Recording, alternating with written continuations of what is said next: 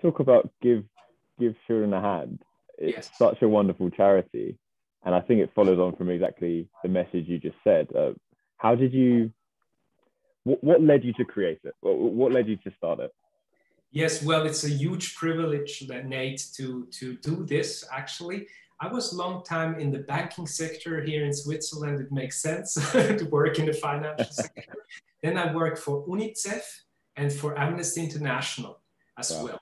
And then I started to think about, oh, let's create the own, our own charity, our own foundation to give children a hand, to give children a physical hand as well, a prosthesis or like a, a magical hand, I would say.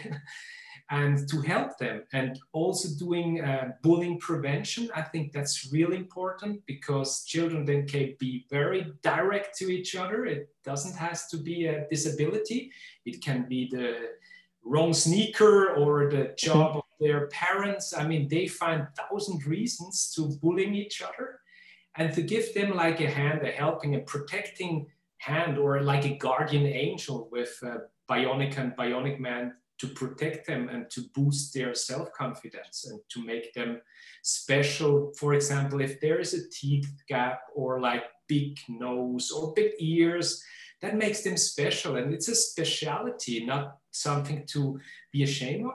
It is to be proud of. That makes you special and unique. And that's kind of the message of this whole kind of little movement we do here in Switzerland.